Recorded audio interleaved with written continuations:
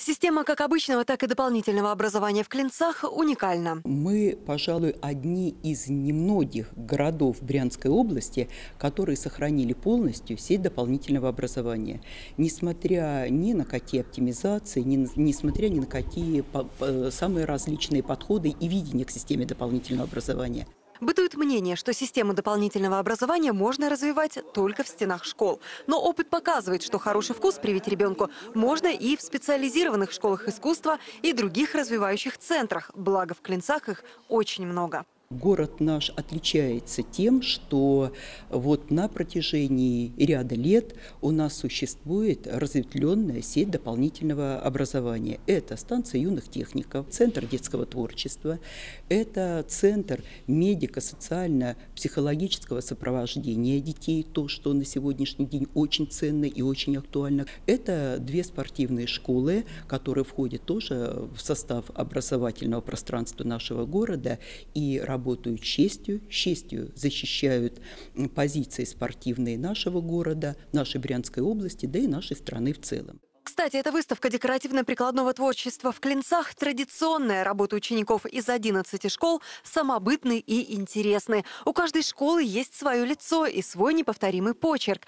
Кому-то по нраву модное направление квиллинг, другим – батик или резьба по дереву. Свои поделки ребята сделали на уроках труда и технологии под наставничеством учителей. Педагоги учатся друг от друга, обмениваются опытом и показывают то, на что способны они и их дети. То есть использование самых разных техник, которые сегодня представлены на этой выставке, ну, еще раз говорю, тому лишнее подтверждение. Все макеты сделаны руками детей. Девочки мастерят кукол и сказочных персонажей. Мальчики конструируют и воспроизводят исторические модели военной техники. В большинстве это модели Великой Отечественной войны. Это оружие, которое помогло нашим ну, дедам, прадедам одержать победу в Великой Отечественной войне. Дима Хораблев учится в седьмом классе третьей Клинцовской школы. Несколько лет занятий в станции юных техников принесли свои плоды – победы в областных и всероссийских соревнованиях. Здесь очень хороший коллектив. Здесь я нашел очень много друзей, а также мне понравилось вот, конструировать лодки, экспериментировать даже. Я в сущности своей рыбак, поэтому меня, наверное, тянет к воде, и я выбрал корабли. Навыки ребята получают здесь по трем направлениям. Это судомодельная, авто и авиамодельные виды спорта. Еще один юный техник, третий классник Денис Гордеев. Любовь к конструированию привил мальчику инструктор Владимир Ковалев. Сначала я пришел, тут а никого не было, только вот Владимир Леонидович э, был по лодкам. Ну, я согласился, он мне все показал, рассказал.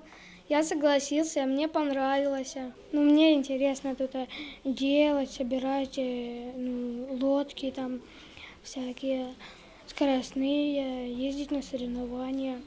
За четыре десятилетия, что существует станция юных техников, здесь мало что изменилось. Вот только наград за участие в областных и российских первенствах становится все больше. Именно здесь, убежден директор станции Владимир Ковалев, развиваются навыки будущих инженеров и конструкторов. Они же пригодятся ребятам в повседневной жизни и помогут определиться с выбором будущей профессии.